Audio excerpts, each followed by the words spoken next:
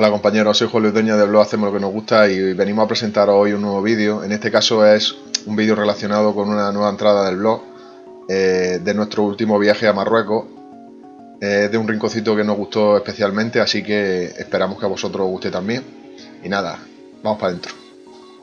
Bueno, el sitio al que hemos viajado no es más que lo que se denominan las dunas de Erchevi y quizás sea el sitio que más eh, nos ha gustado y eh, donde más hemos disfrutado en este viaje porque pues la verdad eh, para nosotros la experiencia de viajar al desierto pues era, era realmente lo que estábamos buscando. Y la verdad que, nos ha sorprendido muchísimo. No lo imaginábamos que sería así pero las expectativas se han cumplido con creces vale entonces queremos presentaros en la entrada un poco qué es lo que hicimos, eh, cómo llegamos, un poco dando consejos, como sabéis que nos gusta hacer, y, nada. Em, como siempre ya sabéis, aquí os dejamos el mapa, ¿vale? Eh, lo hemos hecho eh, como siempre, indicando ruta, indicando sitios, y bueno, ahora iremos viendo algunas cosas más concretas, pero bueno, sabéis que bueno, tenéis siempre la posibilidad de, acceder a las, a las coordenadas GPS, que os las ponemos eh, por la descripción del punto. Y bueno, pues son puntos que vamos comentando en, la entrada, así que no dejéis de echarle un vistazo. Em, ¿Por qué viajar a, Marruecos para ver unas dunas? Bueno, realmente no, el viaje no es eh, para ver unas dunas. El viaje a Marruecos es mucho más. Eh, el viaje a Marruecos, como aquí decimos, una experiencia. Una experiencia que tenéis que vivir por lo menos una vez en la vida. no, es, no, fue lo que nos, dijeron mucha gente cuando eh, anunciamos que nos íbamos a Marruecos con, dos niños pequeños. Al principio fue todo un poco, eh, estáis locos, ¿dónde os vais a meter? Eh, eso pues, nos marcó un poco porque no, nos dio muchos miedos, pero nosotros aquí queremos romper una danza en contra de, ese tipo de opiniones y por eso en parte también creamos esta entrada anterior que se llama 8 razones para no viajar a Marruecos, que si no la habéis leído aconsejamos que la leáis porque va con un doble sentido y, y bueno, no os decimos nada, simplemente leerla. Eh, ¿Razones para ir a ver a, las dunas o para ir a Marruecos? Pues si ver este, este atardecer en, mitad del desierto no es para ti una razón suficiente, pues no sigas leyendo. Esto no es contigo, ¿vale? Eh, esto es lo que te va a encontrar. Te va a encontrar un camino muy largo, porque desde la frontera hasta Archevi, ahora veremos un poco más en detalle, hay 800 kilómetros. No son carreteras fáciles, tampoco difíciles, pero no son fáciles. Hay que cruzar una frontera que lleva sus su, su, eh, pero todo ello tiene sentido cuando, cuando estás en mitad del desierto y, te encuentras con, por la noche, por ejemplo, con este cielo, ¿vale? Y, te das cuenta que, Marruecos tiene algo que, no lo podemos encontrar nosotros en, nuestro día a día. En fin, eh, mm, sé de los que dicen que nosotros al menos estuvimos una vez en la vida en las dunas de Archevi, porque de hecho así es, ¿vale? Aquí estáis viendo la gran duna. En fin, es algo espectacular. No tiene otra palabra. ¿Qué es lo que vais a encontrar? Bueno, pues eh, las dunas del Chevy eh, se encuentran en una muy cercana a una localidad que es muy famosa que se llama Merzuga.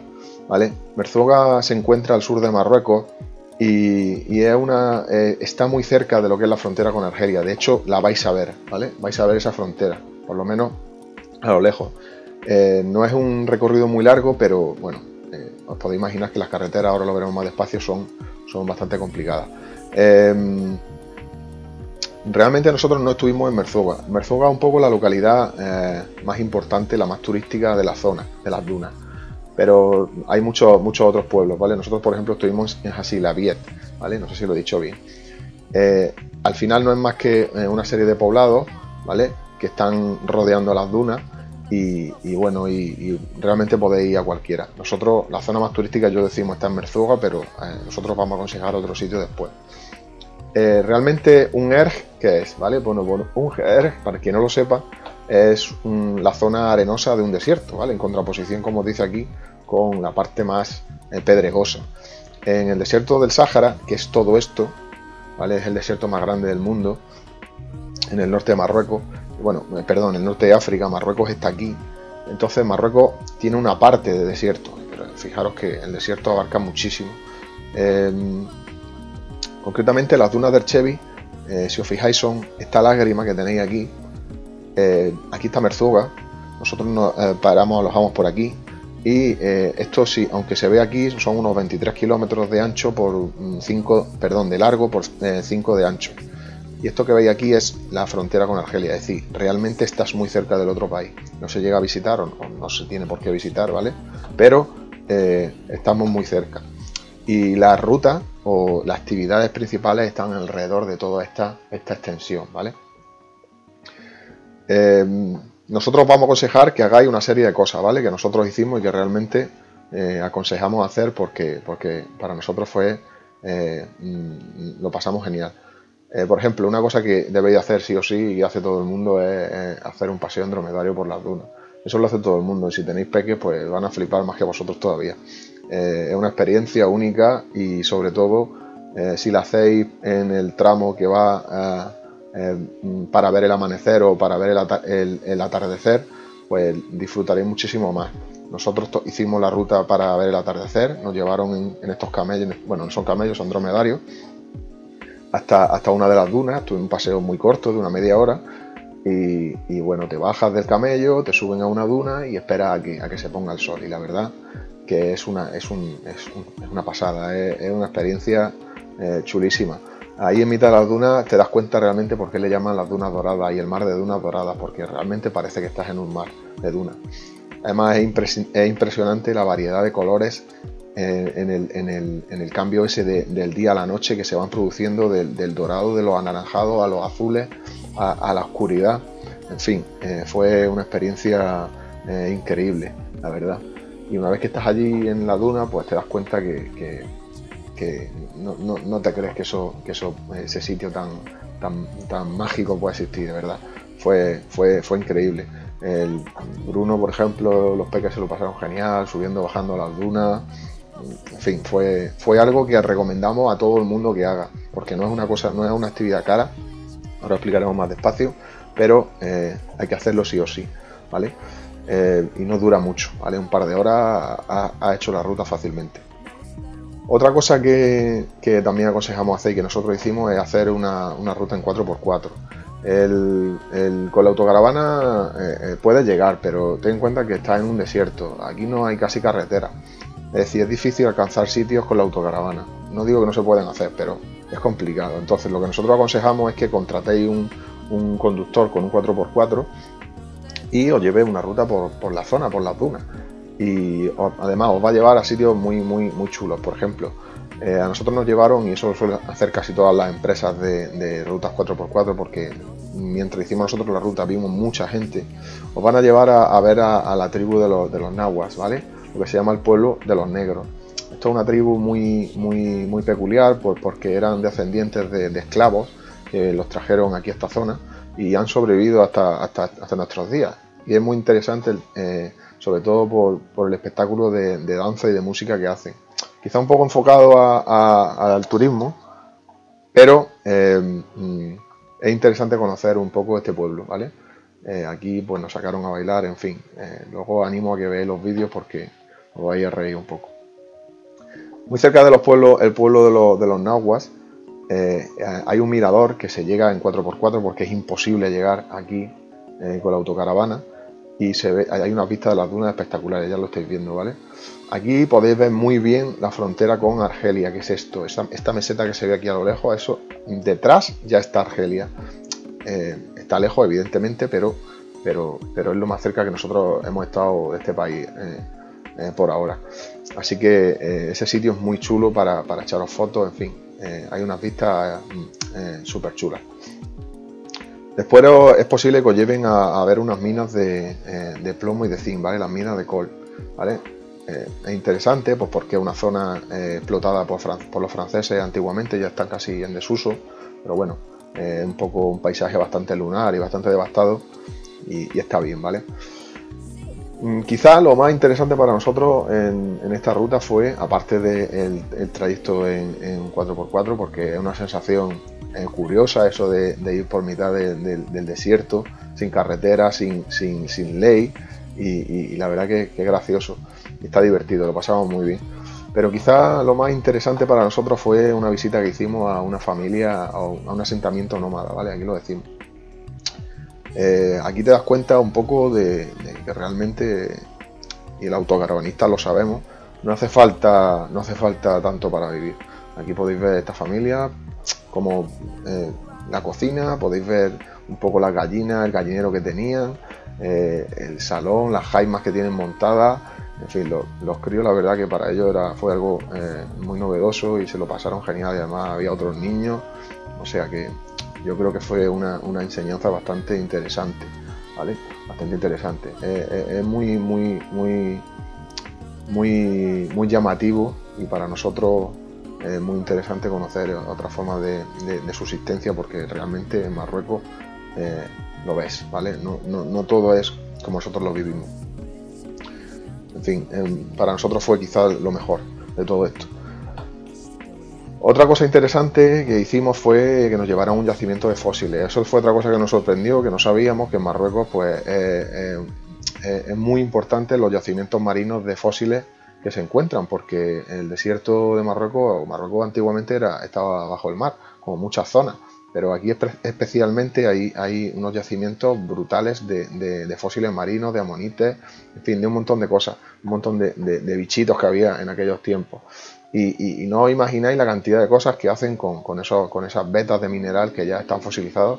Aquí no se ve muy bien, pero se ve que eh, estos botelleros, por ejemplo, están incrustados con, fósiles dentro. De todos estos que veis aquí son amonites, son fósiles, son piedras y hacen de todo, lavabo, hacen artículos de, decoración, en fin, son muy requeridos por los, por los turistas. Cuidado que no engañen, pero, pero está muy bien.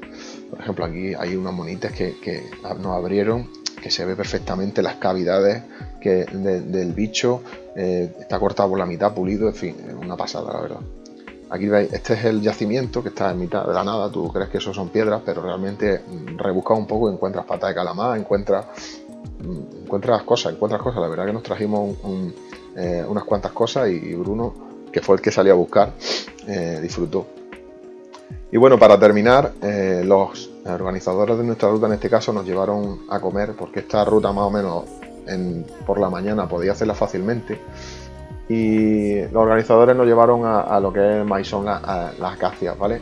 Es una especie de, restaurante en mitad de la nada que, la verdad nos, sorprendió a todos los que íbamos porque no esperábamos eh, que eso pudiera estar ahí construido y la verdad que, yo pensábamos comer algo típico de Never y nos pusieron huevos fritos con patatas fritas y pollo. Esto no es muy marroquí, pero, pero es que eh, eh, yo no me comí un huevo frito con patatas eh, más bueno en mi vida. Allí todo el mundo repitió. en fin, el sitio es muy chulo, todo en plan, em, en plan construido con, con, cosas recicladas. Nos encantó, la verdad. El sitio está chulísimo. Solo por esa comida en ese momento mereció la pena. Y nada, y, bueno, eso es un poco la ruta 4x4. Animamos a que, a que la contratéis y la busquéis pues porque, porque es algo muy, muy, una experiencia chula. Otra cosa que aconsejamos hacer y que nosotros no hicimos fue eh, dormir eh, en mitad del desierto, ¿vale?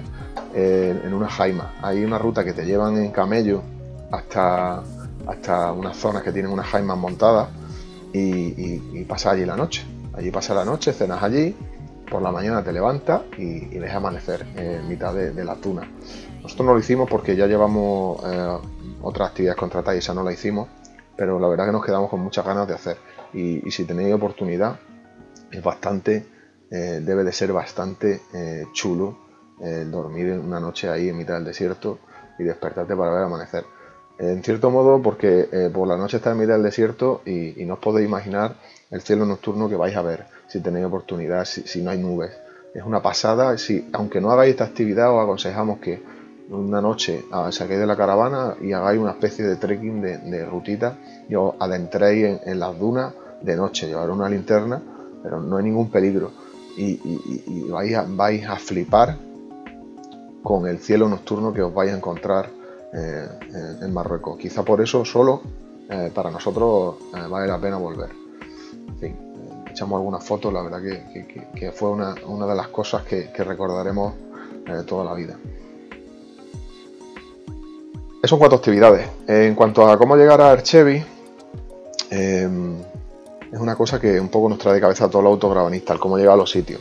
Eh, es más sencillo lo que creéis, sobre todo el tema de conducción por Marruecos. Casi todo, de hecho, todo hasta Archevi, casi todos los últimos kilómetros creo que no fueron asfaltados, pero todos son carreteras asfaltadas, aunque parezca una locura, porque todo el mundo cuando decíamos estas cosas, bueno, todo el mundo no, pero mucha gente se sorprendía. Sí, sí, no, Marruecos, eh, no hay ningún problema en conducir, ¿vale?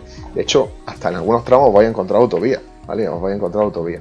En cuanto al tema de desembarco, nosotros aconsejamos, mira, aquí tenéis la ruta, aquí tenéis Archevi, nosotros aconsejamos eh, tomar el ferry hasta un puerto que se denomina eh, Tangermet. ¿vale? Casi todo el mundo va o, a Tánger o a, Ceuta, pero ahora han creado un nuevo puerto de desembarco que se llama Tangermet, que está entre estas dos ciudades. Digamos que Ceuta está por aquí, ¿vale? Bueno, no sé exactamente, pero sé que está entre las dos y eh, es bastante rápido. Nosotros no tuvimos problemas y todo el mundo con el que hablamos, así, viajero experimentado, la verdad que lo prefiere. Y si decían eso, por algo será. De todas maneras, hay otras opciones. Por ejemplo, la opción eh, tarifa Tanger es más corta, se está menos tiempo en el barco. Esto es un trayecto de una hora y pico. Lo que sí os aconsejamos es que reservéis con antelación y que eh, intentéis tomar los ferries o los barcos de primeras horas, porque a la vuelta cogimos los de, la último, los últimos del día y nos pilló un retraso increíble. Claro, de unos barcos y otros barcos, al final los retrasos se los comen sobre todo los, últimos barcos. Entonces, si no queréis tener retrasos, yo, nosotros aconsejamos que reservéis a primeras horas.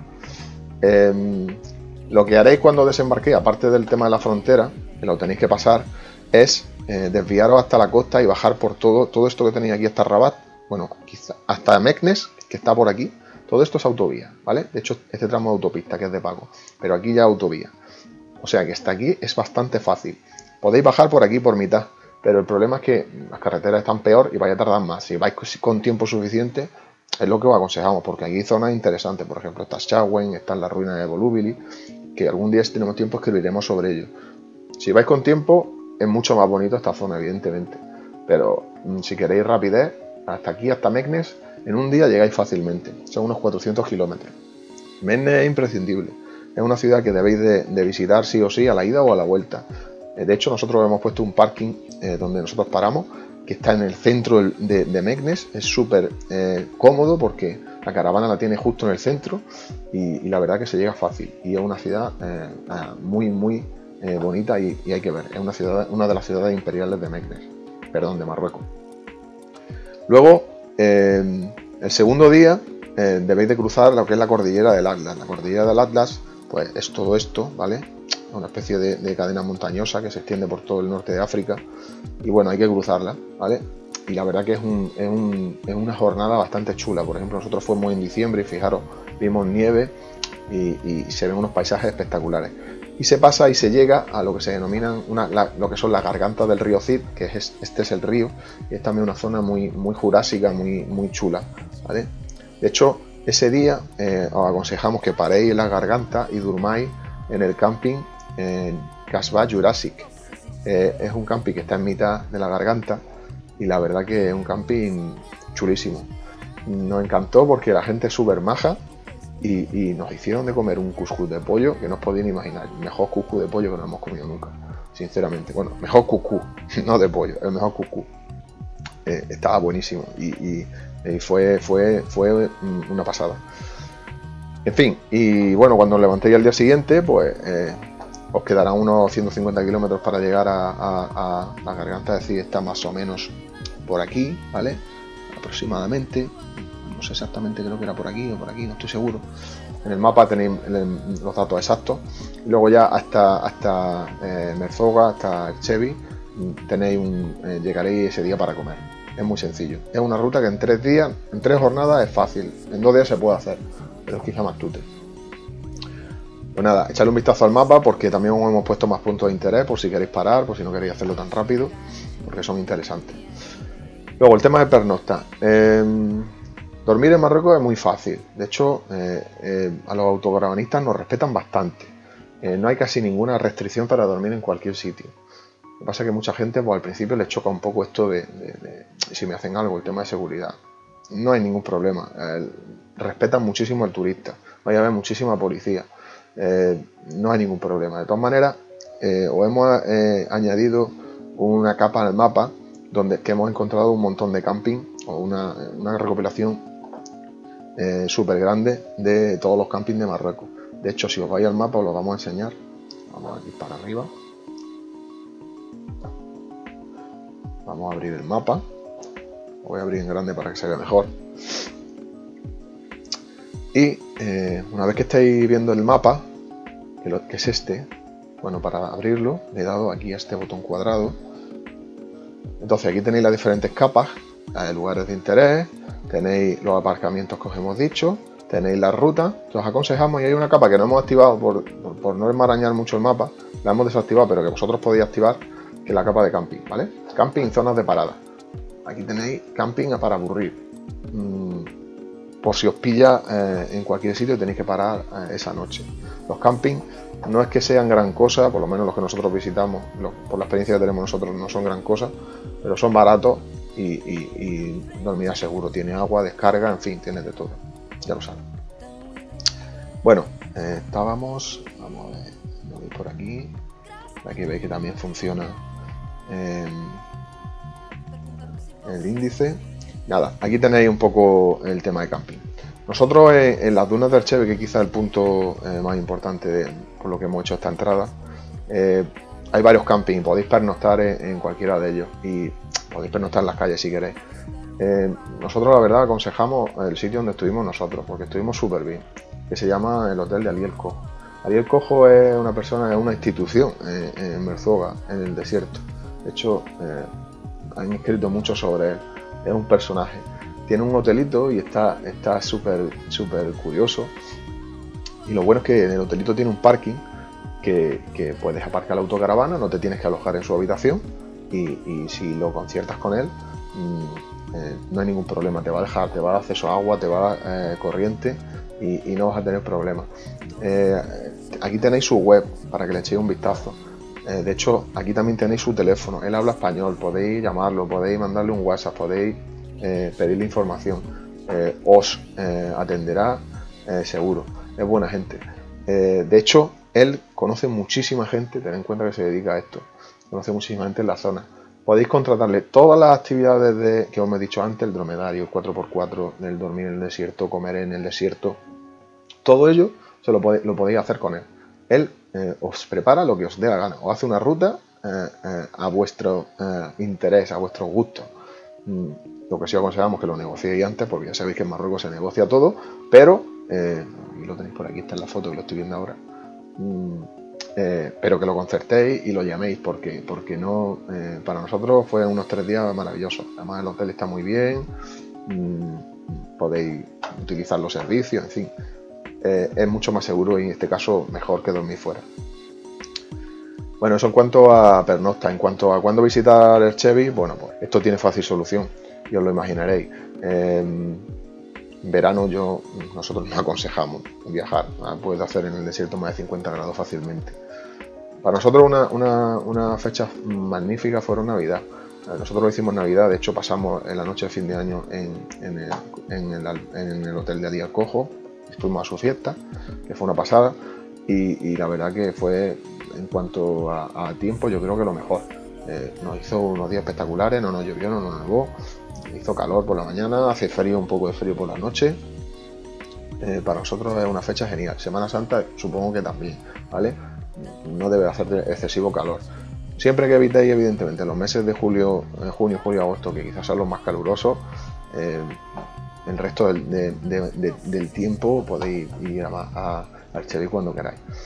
Y bueno, nada, mm, os hemos dejado aquí unos cuantos enlaces más por si queréis preparar más cosas. Sabéis que tenemos un servicio que se llama Hacemos Minería. De hecho, eh, el de Marruecos lo, damos gratis. Simplemente tenéis que pinchar eh, aquí en este enlace y descargarlo. Es muy sencillo. Con esto os estamos dando acceso a un montonazo de relatos de otros autocaravanistas. De hecho, os lo damos gratis. Simplemente tenéis que escribir el código de oferta este Marruecos gratis, que lo podéis seleccionar. ¿Vale? Voy a decir cómo. Seleccionáis el texto, le dais a copiar y pulsando en quiero esto, bueno, decir, si no queréis pagar nada, le decís que 0 euros, le dais a quiero esto, bueno, no hace falta ni que metáis el código.